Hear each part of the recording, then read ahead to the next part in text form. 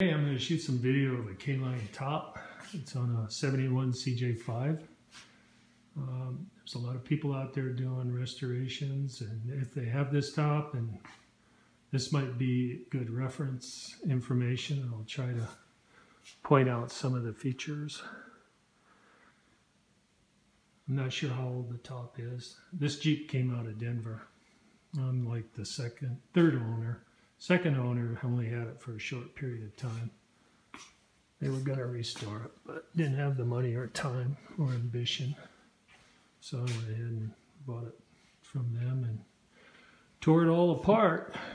Last year I had every nut and bolt off about this time. Was painting the tub in my neighbor's garage. So, all right, so that's the outside. I'll show the doors in a little bit. I wanted to shoot this video before I put the doors on.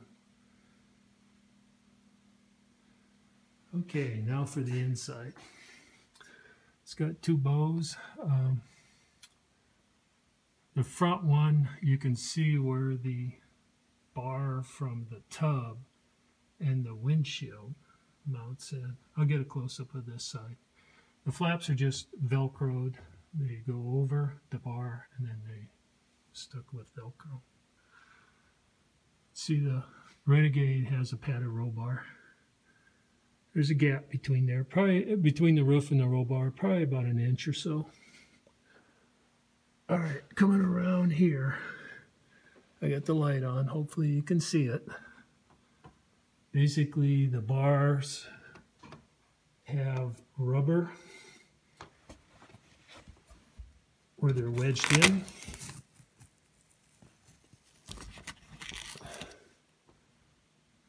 And up here as well. It's got a little bit on bracket here for interconnection. Comes around. Let me get that light on here so it's not so dark. You can see where the eye bolt comes through the windshield. Take a quick look on the outside. Got an acorn nut. Snap. Even though the top looks a little rough, all this can be repaired. I'm not worried about fixing it up. It's very functional the way it is.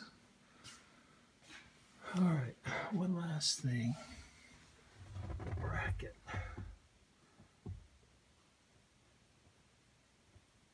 Can see on the rear bracket there's three holes. I've got it in the first one, so it's the least amount of tension.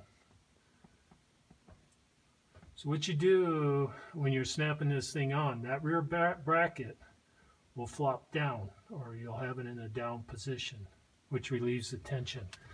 Let me try to exercise it on this side. Hopefully this turns out. Yeah, I got to get the seat out of the way. Sorry about all the jiggling, but that's what you need to do. All right. Trying to get around. These things are bitch to get in and out. There's the bracket. Okay, now it's down. Relieves the tension. Flip it up or snap the top on around back and the sides and then snap that back up and it creates tension. Not an easy thing to video.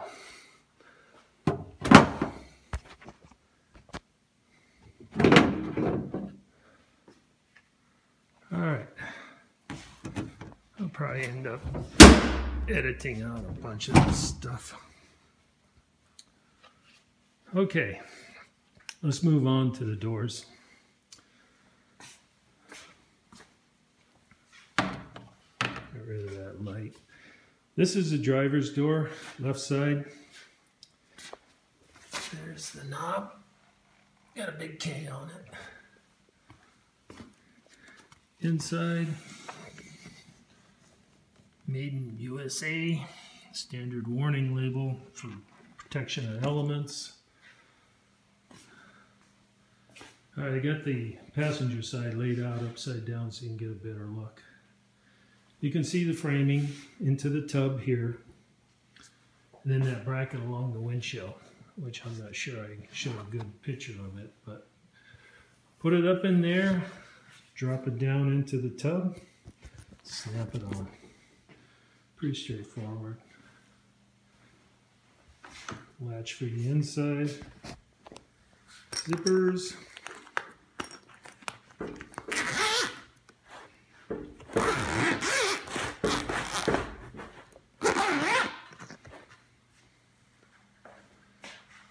right.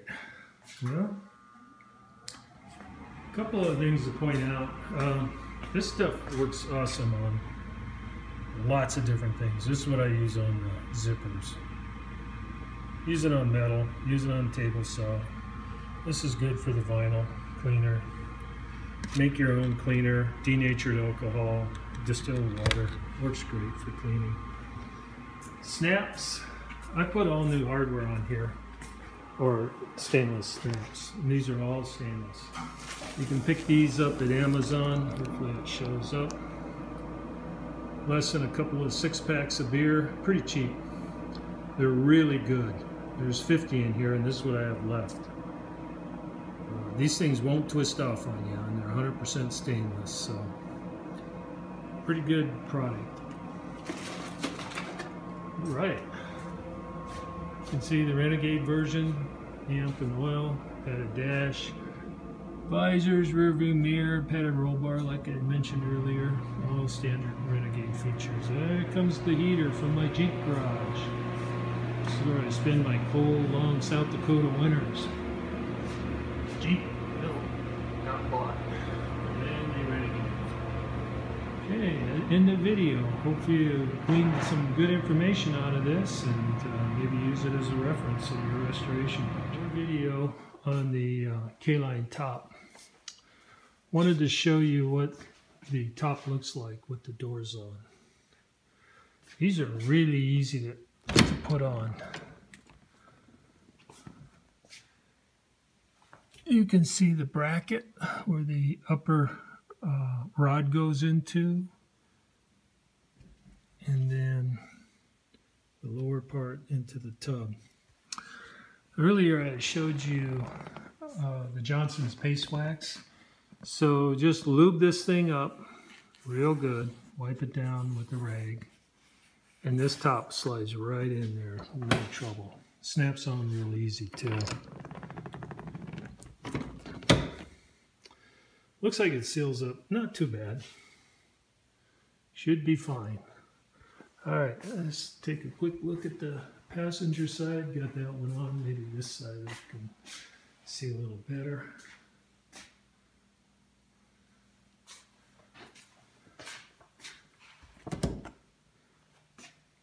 Door handle.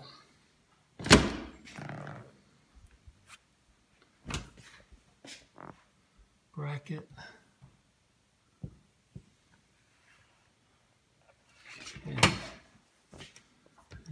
Your inside latch.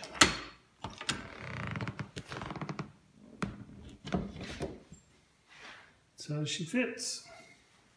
This thing goes on real easy. Like I said, lube this channel really good. And um, just in case you didn't see it earlier, I can't remember, it's that Johnson's Paste Wax. I use this thing. I keep this tub in the shop, use it for everything. Uh, you can use it on, you know, like the metal table saw tools.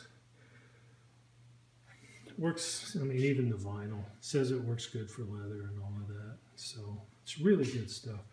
Makes the zippers work good and it makes sliding the doors into this channel very easily, very easy. I, you know, lube up the bead on the door and get yourself a small screwdriver with a little bit of a rag and lube up the channel and that top will go on real nice. All right, hope you enjoyed the video, learned something. If not, uh, thanks for watching. Bye.